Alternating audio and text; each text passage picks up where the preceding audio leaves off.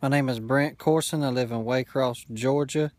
I'm 27. My birthday is January 28, 1988. Instagram is Brent T. Courson.